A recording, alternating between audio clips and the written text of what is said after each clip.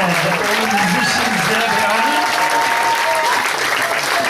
And we're going to do another one, right? Uh, yeah. And let's not forget Thurston at the, the and Martin at the bar.